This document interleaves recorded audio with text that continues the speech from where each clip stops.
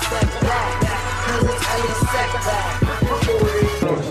Boxing comedian Cedric the Entertainer is a huge boxing fan, and we caught up with him. Floyd Mayweather just got sentenced 90 days. What message do you have for Floyd if What you're was it? watching? For, for what? Uh, domestic abuse. He had a Oh, plea. with the thing with the uh, yeah, you know, I think you know Floyd. Floyd's a, I know Floyd personally, so I mean he's a guy that is you know kind of find trouble finds him in situations, but I think that for the most part, uh, you know, it's about just being uh, really true to yourself. And I mean, you know, a lot of times you can find yourself being in trouble. All of us are, you know, milliseconds from you know, it being over the line. So, but uh, you know, but I definitely would want to encourage him, you know, to be a little more controlled at home, controlling the energy of being a, like a, you know, a loudmouth and all that kind of thing. It works for selling fights, but you know, sometimes you end up manifesting that kind of thing. So that's what I usually just try to tell them: keep it cool. You can sell the fight. You can be the guy that people go, oh, I hate him, but not really. You're not. That's not who you really are. So you know, and he's not really. He's a real good dude for real. we all want to see him against Pacquiao. Who wins in your opinion? Uh, that fight, I actually would go with Floyd on that fight. You know, I mean, I think that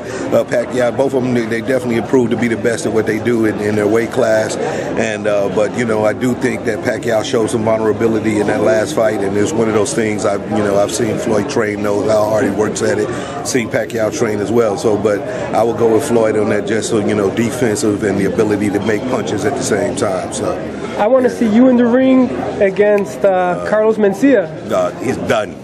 Done. Plus, he lost weight. You know what I'm saying? Carlos, he made my weight. He in my weight division right now. George Lopez? Like that. George, he can't handle it. You know what I mean? Go name somebody else. Dave Chappelle? Knocked out. He out. He knocked out back to Africa.